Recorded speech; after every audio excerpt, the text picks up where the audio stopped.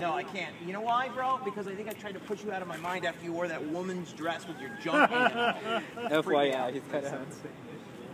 Do you wear Do you wear underwear? I do. Okay. I was wearing it at the, at the time. Anyway. I always wear it. All right, Kyle. There you Are you ready? I'm fine. Uh, wow. Okay. Confident. Junk water on my mic. All right. Kyle is down on all fours. He's ready to go. Stick his head into the bucket of pork testicles. Might want to pick out one if you want a chance to Go get for that it. marked one. See, I found a YouTube. Down he goes. His face is in. Megan is choking, and he's got one. Oh, he's got one. He's letting it take take it out, bro. Let's see. Bro? Oh. No, nothing. So nobody is a free pass.